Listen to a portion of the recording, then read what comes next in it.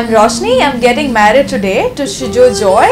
And as you can see me, I look way too different from what I was. And my makeup was done by Avinash.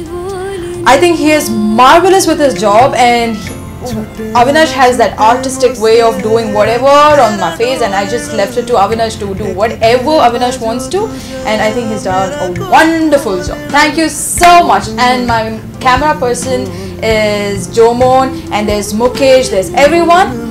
They're just amazing people. This is the first time I even met them in my uh, life and they're wonderful. They're phenomenal. Thank you so much.